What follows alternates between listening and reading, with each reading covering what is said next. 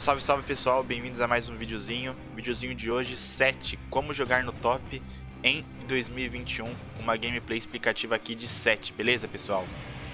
É, nesse vídeo, o vídeo em si vai ser dividido em algumas partes, tá?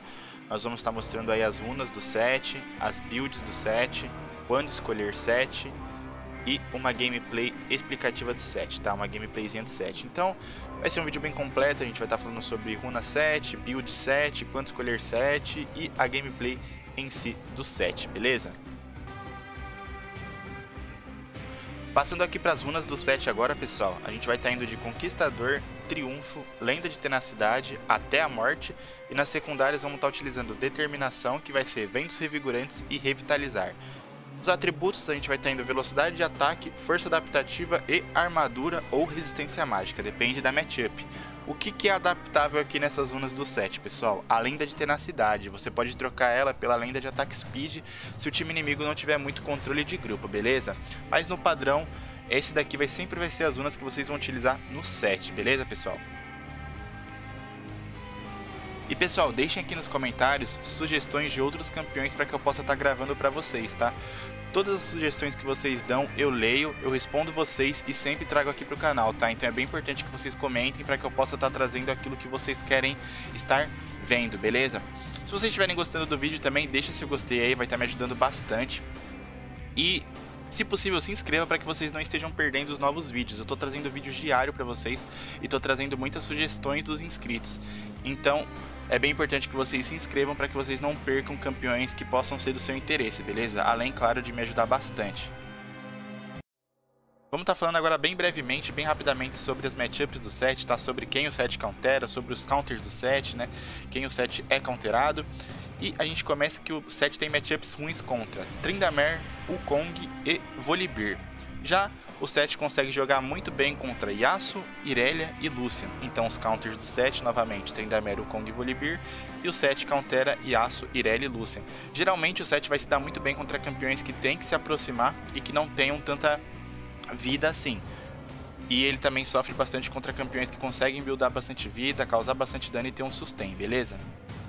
Então esses são os counters do set. Vamos falar agora sobre as builds do set, né? Sobre a set build aí, os itens que a gente vai estar tá fazendo pro set. A gente vai estar tá começando de Espada do Rei, nosso segundo item vai ser o quebra-passos e o nosso terceiro item vai ser o esteira, tá? E aí o resto da build é adaptável ali na sua partida. Essa build é muito boa porque vai fazer você ser um demolidor de torre, você vai dar muito dano em torre, você vai conseguir ter uma aproximação nos seus inimigos e vai ter uma troca muito forte no 1 contra 1, tá? Você vai ser um side laner bem forte, vai causar bastante dano. E depois que você fechar ali sua esteira, que também você vai ter potencial de tancar nas teamfights bem interessante, beleza? Então essa é a set build, buildzinha do set, e vamos embora pra gameplay agora.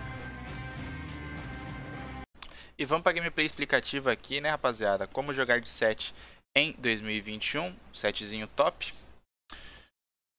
E vocês podem perceber que eu tô numa matchup boa, como eu comentei. A gente tá contra um Yasuo. É uma matchup muito boa contra o Set, porque o Yasuo precisa se aproximar e o Set é muito bom contra esse tipo de campeão.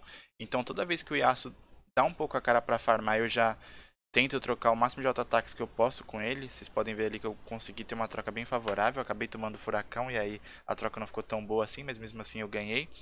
Então sempre que o Yasuo se aproximar demais, aí entrar no rangezinho do nosso E, a gente pode puxar ele e forçar essa, essas brigas, porque no começo o Seth consegue lutar muito bem contra o Yasuo, beleza?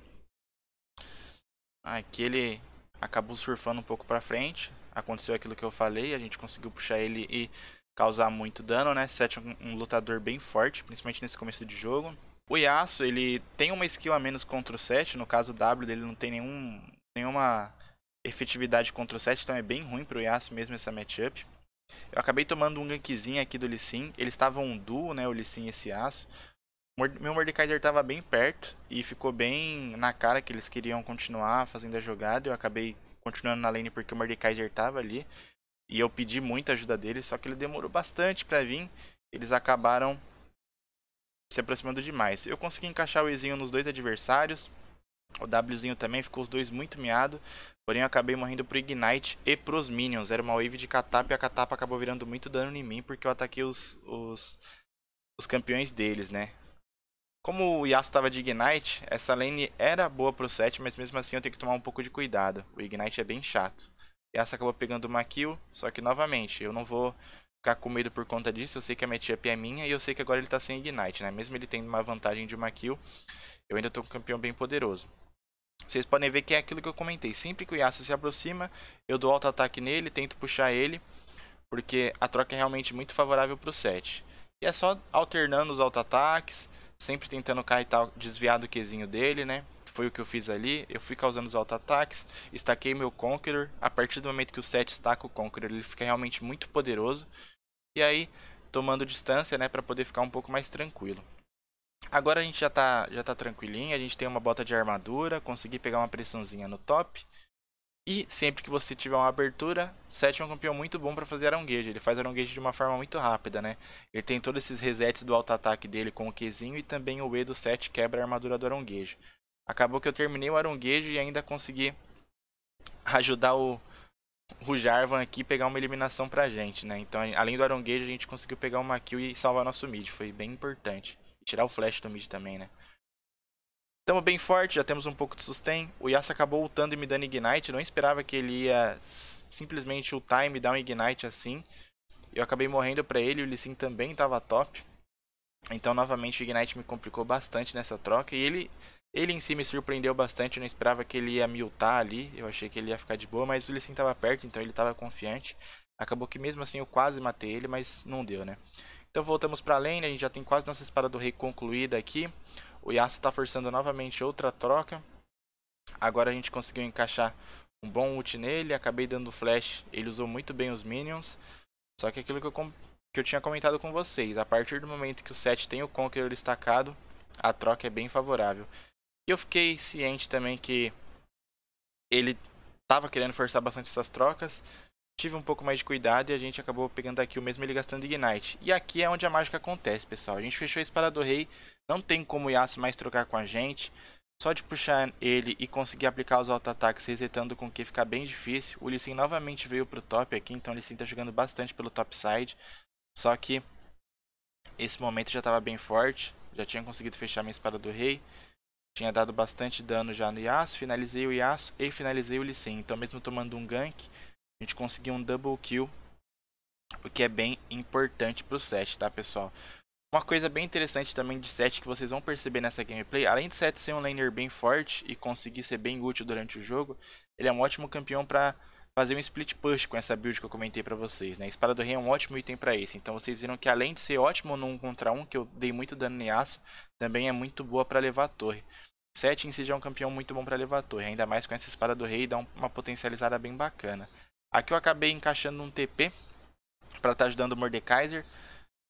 Acabou que apareceu muita gente top, quatro pessoas top. A gente conseguiu pegar uma killzinha no Yasuo. O Mordekaiser ultou a Jano, que foi bem ruim. O Lissin acabou saindo com pouquíssima vida. Eu fiquei preso ali com o Yone e com o Lissin, né? Mas mesmo assim foi uma luta favorável. Se o Mordekaiser tivesse lutado um pouquinho melhor, tivesse lutado ou o Lissin ou o Yone, a gente conseguiria ter um bom resultado. Aqui eu venho tentar executar esse essa jogada novamente, só que dessa vez o Ione ficou ligeiro e acabou que eu morri, né? Eu não consegui ultar um alvo de prioridade. Novamente, a gente está numa side agora. O Ione tá, tá fazendo bastante esse papel de split pusher. E assim como o Yasuo, o Ione é um campeão bem parecido. É um campeão que a gente consegue trocar muito bem, que a gente tem uma lane bem favorável contra, tá? Só que o, o em si é um campeão com mais mobilidade. Acabou que a gente conseguiu uma troca bem favorável. Ele tentou escapar ali, só que com o nosso time a gente conseguiu se aproximar e pegar essa eliminação. E o 7, além de ser um ótimo campeão para destruir torres, o 7 também é um ótimo campeão para destruir objetivos. Dragão, dragão, barão. É um campeão que faz tem um DPS bem alto, né? Então, ainda mais que essa buildzinha de espada do rei fica bem interessante. Nesse ponto do jogo a gente já tá bem forte, a gente já tem espada do rei, a gente já tem quebra-passo. Então a gente consegue levar a torre muito rápido, a gente consegue levar o objetivo muito rápido. E no 1 um contra 1 um puro, ninguém consegue parar a gente. Então a gente usa esse quebra-passo para se aproximar aqui do, do jungle inimigo e eliminar para a gente poder fazer o barão com mais tranquilidade. 7 é um ótimo campeão para tirar o jungle desses objetivos também, tá? Novamente uma lutinha no mid agora com o Baron, a gente conseguiu pegar o Yone e decretou a morte dele, né? Eu cancelei a ult dele ali com a minha ult também. é algo que você pode utilizar, a ult do set para cancelar algumas skills dos seus inimigos. E, novamente, aquele trampo que eu, que eu falei para vocês, pessoal, o set Split Pusher. É, o set em si é um ótimo campeão para levar a torre, como eu já comentei, porque além de causar muito dano e dar um dano muito rápido, ele é um campeão que consegue resistir bastante. Então, se muitos inimigos vierem em mim, eu consigo aguentar um bom tempo e consigo comprar esse tempo para que minha equipe possa fazer outra coisa no mapa. Então é bem interessante você abusar desse potencial split pusher do set, tá? Conseguimos pegar uma torre, novamente utilizando aquele barão, né? Então o barão já foi muito bem utilizado, a gente conseguiu pegar pressãozinha no mid, pegar uma killzinha no mid, pegamos torre no mid, pegamos torre no top, o inibidor agora no top, o Yone saiu com pouquíssima vida, quase que a gente pegou ele no quebra-passa ali, mas acabou morrendo para Lux agora. Eu dou um zoning aqui na cena, acabo errando o Ezinho, mas a gente consegue pegar o inibidor, né? Então já tá bem bacana. A gente já tem nossos dois principais itens. Esse terceiro item, nesse jogo específico, eu fui pra, eu fui pra é, cor, é, coraça não, armadura de espinhos, porque tinha o Yone e o Yasuo, eles tinham muito roubo de vida, e essa parte é uma parte essencial, pessoal, você adaptar sua build. A gente acabou dando um TPzinho muito bom aqui, e eu mostro outra coisa muito importante do campeão nesse momento, né? Você pode utilizar o ult num, num, campeão que não seja um alvo de prioridade, um tanque, um suporte, para aí sim você chegar no alvo de prioridade e conseguir unir os dois e causar muito dano, beleza? Então é mais ou menos assim que você quer jogar de set, splitando bastante, aproveitando as brechas que você tem para você estar tá encaixando seus teleportes, é, entendendo também como sua ult funciona, porque você pode utilizar a ult num campeão não tão interessante, num inimigo tanque ou num suporte, porém você vai estar tá utilizando esse, esse inimigo para estar tá chegando realmente no alvo de prioridade. E aí sim tá conseguindo dar um engage muito bom para o seu time. Então 7 tem um potencial muito bom para fazer o Spirit Push. É um Split Pusher muito forte porque além de levar a torre muito rápido, ele consegue fazer um V1 e também luta muito bem utilizando o ult dele de forma criativa, beleza? Pessoal, deixa aqui nos comentários sugestões de outros campeões para que eu possa estar tá gravando para vocês, beleza? Também comenta aí o que você achou desse videozinho aqui de como jogar de set em 2021, né, da gameplay explicativa do set, sobre as runas do set, as builds do set. Se tem alguma coisa que eu possa complementar para vocês, deixa aqui nos comentários, tá? Eu vou estar tá olhando e vou estar tá respondendo.